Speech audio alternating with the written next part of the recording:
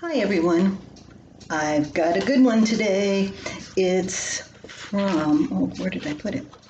It's from this book, my collection of the growing years, and it was done in June of 1988, and it concerns our son Russell.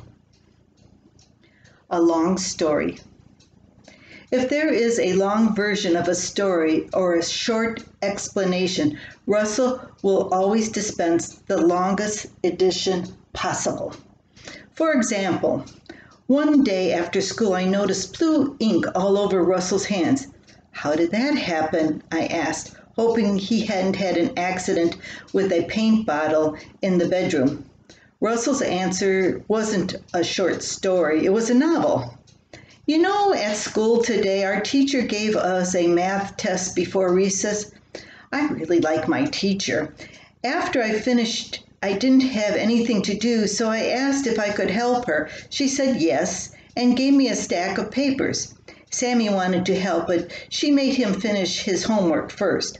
Sammy, name changed to protect the innocent. Well, Sammy wasn't happy. You know, he never finishes his work. When she gave me a rubber stamp, uh, then she gave me a rubber stamp. There was a funny face on it. I always like when she puts that on my papers. Well, I went back to my desk with the papers and I took the stamp and the blue pad and I put funny faces on all the papers. Russell began to ramble on about his friend's antics at recess, but I stopped him. I would have been at least 95 by the time he finished this second, even longer story. Since Russell's versions are always lengthy, I wasn't surprised when he started telling me a tale when I was upstairs in his room putting away laundry. What are you doing, Mom? He calmly came into the room. I didn't know, know you were coming up here to put clothes away. I was in the bathroom. Did you know water comes into the toilet? It swirls around like a whirlpool. I don't know why it goes around. Rob said it could suck me right down if I fell in. I don't don't believe everything your brother tells you. That's just the way the toilet rinses itself, Russ. I continued, straightening his shirts. Well, I was just in the bathroom, Mom, and I flushed the toilet. That's nice. I concentrating on sorting socks.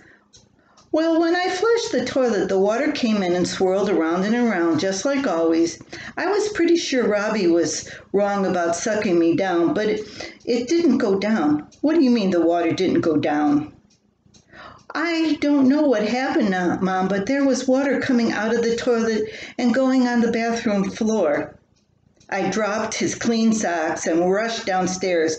There I found water flowing from the toilet across the bathroom and into the linen closet. Russell, why didn't you tell me this sooner? I came and found you right away when it happened, Mom. Russell, there are times when a person has to stop and just yell, Help! Russell always told long stories. I'm not sure if his stories are as long these days, but he was always an interesting boy. He was about eight at that time, and um, I I enjoyed listening to him, but not when I needed to run to stop the water from running all over the house. I hope you have a good day. I put Kari to sleep, but that's okay. Until next time.